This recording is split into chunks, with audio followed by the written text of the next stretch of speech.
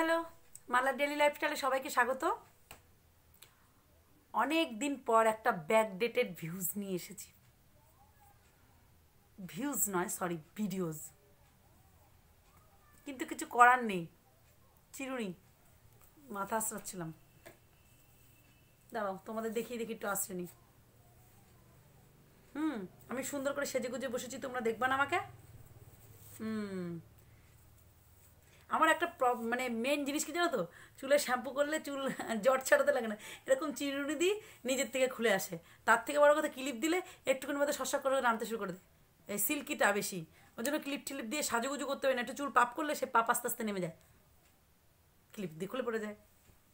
মানুষটাই আমি স্লিপি যখন তখন কারও কথায় ফেসে যাই।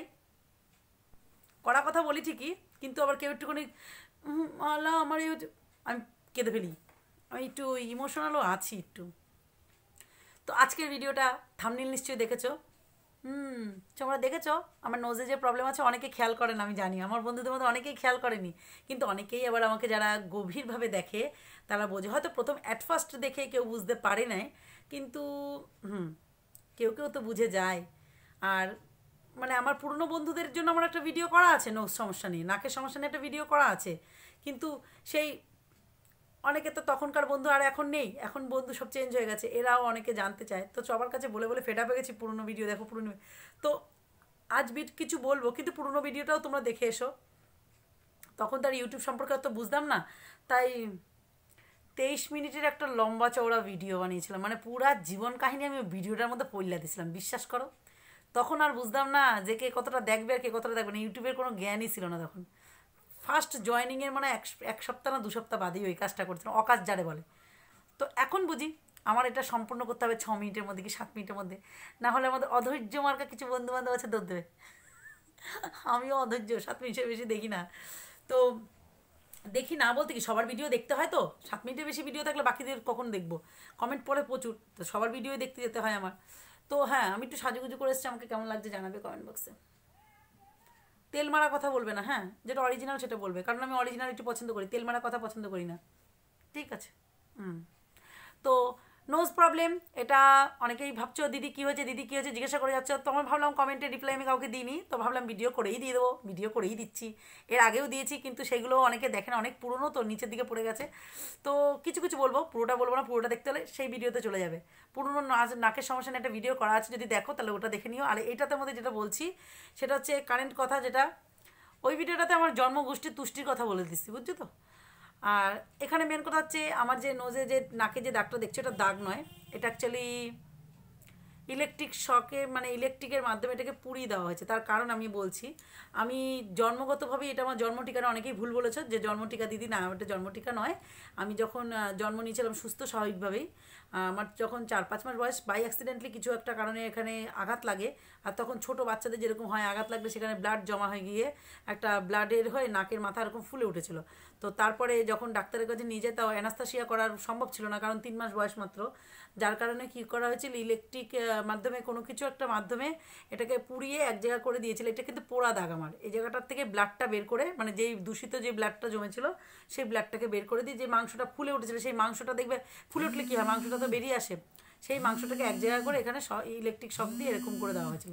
শখ না ইলেকট্রিকের কি একটা পদ্ধতি আমি তো জানি না সঠিক তিন মাস বয়স আমি কী জানব? মাম্মামের মুখে যা শোনা সেটাই বললাম তোমাদের। তো এইটা সেই দাগ। আর সেই দাগটা যে ডাক্তারবাবু করেছিল তখনকার সময় সেই ডাক্তারবাবু বলেছিলেন যে দাগটা উঠে যাবে। আমার মা সেই জন্যই হয়তো বনসইতে রাজি দিয়ে দিয়েছিল মানে সাইন করে দিয়েছিল। কিন্তু আমার কপাল এতটাই খারাপ যে যখন আমি এটা মানে হওয়ার পরে এটা শুকিয়ে যাওয়ার পরে যখন সুস্থ হয়ে উঠি, তার দেড় দু বছরের মাথায় সে ডাক্তারবাবু মারা যান। যার জন্য আমার ডাক্তার ওঠানো হয়নি। এখন সার্জিক্যালভাবে হয়, এখন ক্লিয়ার হয়ে যাবে। আর সেটা সম্ভব হবে তখনই। যখনই তোমরা আমার ভিডিও দেখবে আর আমি অনেক টাকা ইনকাম করব, তখন আমি এটা হয়তো সার্জি করার চেষ্টা করব বাট এখন সার্জারি করার কোনো প্রশ্নই ওঠে না। আগে আমার মেন ব্যাপার হচ্ছে আগে কিছু করতে চাই। করতে চাই আর করতে পারবও, আমার সেই মনের জোর আছে। আর এটার জন্য আমি সমাজে অনেক কিছুর অনেক কিছুর অনেক কিছুর মানে কি বলব, অনেক কিছুর সহ্য করতে হয়েছে আমার। বন্ধু বান্ধবের দিক দিয়ে বলো এমনকি ইউটিউবে যখন প্রথম এসেছি, তখনও আমার এই সমস্ত নিয়ে কিছু সহ্য করতে হয়েছে। তো সেই জিনিসগুলো আমি ভুলতে পারি না, বুঝেছি তো? ভুলতে পারি না, আবার মাঝে মাঝে আমি স্ট্রং একটু এদিক দিয়ে। তো আমি ঝটকা এবার সেগুলোকে কভার করে উঠতে পারি। তো এই নিয়ে অনেক কিছু শুনতে হয়েছে, খোটা শুনতে আরে শুনতে শুনতে এখন না একটা জিনিস দেখবে, লেবু চটকাতে চটকাতে তিতে হয়ে যায়। আর মাটিও রোদে শোকাতে শোকাতে সেটা শক্ত হয়ে যায় যে কাউকে ওটা দিয়ে আঘাত করলে কেউ মারাও যেতে পারে। তো আমার অবস্থা হচ্ছে সেই শুনতে শুনতে শুনতে শুনতে একটা পাথরের মতো হয়ে গেছি। এখন আই ডোন্ট কেয়ার ঠিক আছে? আমি এখন ওগুলো কেয়ার করি না। তো আচ্ছা আমার আছে। আমার যা লুকিং এই লুকিংয়ে তোমরা যদি পছন্দ করো, যথেষ্ট। কে কি বলল, না বলল ভাড় মে যায় আমি যেটা শিখেছি তোমাদের কাছ থেকেই, যে তোমরা যদি আমার সাথে থাকো, তো কেউ কিচ্ছু করতে পারবে না। তো আমার ভিডিওর মধ্যে, আমার কন্টেন্টের মধ্যে আদারওয়াইজ আমার শর্ট ভিডিওর মধ্যে, কোনো জায়গায় যদি আমার এই নজির এই এফেক্টের জন্য তোমাদের মনে হয় প্রবলেম আছে, তো আমার ফোন যার যেই ফোন আছে ফোনের নিচের দিকে যে এক্সিট বাটন আছে, টিপে বেরিয়ে যাও। ঠিক আছে? কারণ আমি এরকমই, আমাকে এরকম নিয়েই তোমাদের চলতে লাগবে। কারণ আমি এরকমভাবেই চলবো। আমার ফ্যামিলির প্রবলেম নেই, আমার হাজব্যান্ডের প্রবলেম আমার ছেলে বড় হচ্ছে, ছেলের প্রবলেম নেই। ইভেন সবচেয়ে বড় কথা সেলফ স্যাটিসফ্যাকশন যেটাকে বলে, আমার সেটা আছে। আমার আমার মনে হয় তো আমি খারাপ না, তো আমি খারাপ না। নিজের মনের ভেতরে যদি জোর থাকে, আমি এইরকম আর আমি এইটাতেই খুশি, তো কারও বাবার ক্ষমতা নেই, আমাকে ভেঙে দেবে। আর কেউ ভাঙতেও পারবে না। ওই জন্য প্রথম প্রথম ইউটিউবে কিছু আসতো, খোঁচা মারতো এসে আমাকে। প্রথম প্রথম হয়তো আমি নড়বড়ে ছিলাম, কিন্তু ভাই এখন আমি গেড়ে বসেছি। এই সমস্ত আঘাত আমার কাছে আর কিচ্ছু আসে যায় না। এটা আজ আছে, কাল তো নাও থাকতে পারে। বলা যায় না, ঠাকুর না করুক আমি যদি কোনো দিন লাইফে আরও বড় হয়ে যেতে পারি, তখন এটা থাকবে না। তখন এই দিনকার কথা আমি যদি আজ কান্নাকাটি করি, তখন ওই দিনকে গিয়ে আমি এই কান্নাকাটি করে ইউটিউবের টাকা ইনকাম করার মধ্যে আমি নেই। প্রথম যখন ভিডিও করেছিলাম, তখন বলতে গিয়ে আমি ভেঙে পড়েছিলাম। তখন বুঝতাম না তো, প্রথম ভিডিওতে আমি কেঁদেছি খুব, এটা ঠিক। ভেঙে পড়েছিলাম তখন। কারণ অনেকের কমেন্ট কমেন্টের জন্য আমি ভেঙে পড়েছিলাম। কিন্তু এখন ভাই ভাবি হ্যাঁ? এ কে রে? কমেন্টগুলো করেছিলিস? যদি এখনও শুনে থেকে আমরা ভিডিও তোলে চলে আয়। উত্তর পেয়ে যাবি। কারণ তখনকার মালা আর এখনকার মালার মধ্যে প্রচুর পার্থক্য।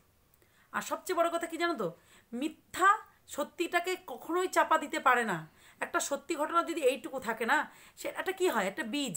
একটা বীজকে মাটির তলায় যদি পুঁতে দাও, সেটার উপরে জল পড়বে, রোদ্দুর পড়বে, আলো পড়বে সব কিছু পেলে সেই বীজটা ফুড়ে গাছ হয়ে একদিন সেটা অসত্য গাছ বা বট গাছ বা কোনো রকম বড় গাছের মতনই ধারণ করতে পারে। ঠিক আছে?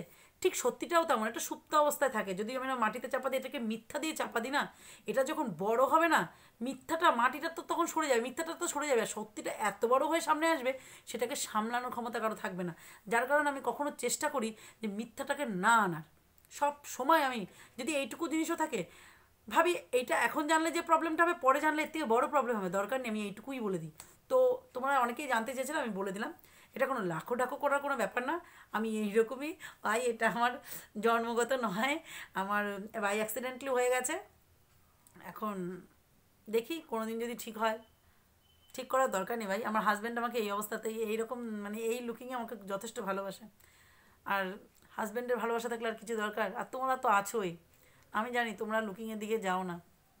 আর একেবারে খারাপও না কিন্তু আমি। খারাপ বলো। নিশ্চয়ই না। যদি খারাপও থাকে, এইভাবেই অ্যাকসেপ্ট করতে হবে। কারণ বাবা, আমি এখানে পাত্রী নই যে আমাকে দেখতে আসবে সবাই। আমার বিয়ে হয়ে গেছে, আমার ছেলে আছে, আমি ইউটিউবিং করছি। আর তোমরা বলো, আমি নাকি তোমাদের দিদি। তো দিদি, যারা আমার থেকে কাকিমার বয়সী আছো, মার বয়সী আছো, তাদের কাছে মেয়ে। তো দিদি হিসাবে, মা হিসাবে, মেয়ে হিসাবে মানতে কোনো প্রবলেম নেই তোমাদের। এটাও কোনো এফেক্ট নয়। টাটা। বলে দিলাম। আর যদি এর থেকে বেশি কিছু জানতে হয়, তো প্রথম দিকের ভিডিওটা দেখে এসো।